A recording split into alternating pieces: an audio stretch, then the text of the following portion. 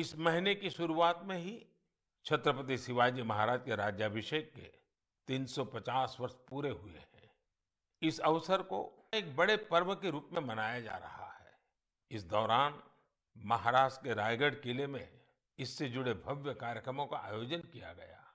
मुझे याद है, कई वर्ष पहले 2014 में, मुझे रायगढ़ जाने उस पवित्र भूमि को नमन करने का सौभाग्य मिला था।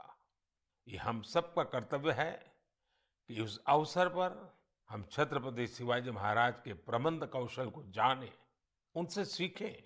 इससे हमारे भीतर, हमारी विरासत पर गर्व का बोध भी जगेगा और भविष्य के लिए कर्तव्यों की प्रेरणा भी मिलेगी।